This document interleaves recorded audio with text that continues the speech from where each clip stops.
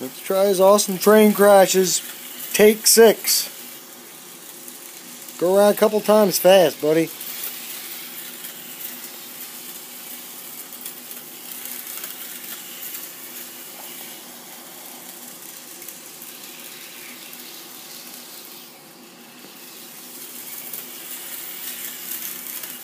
Whoa.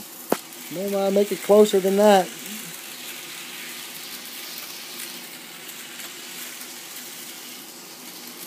Whoa, close.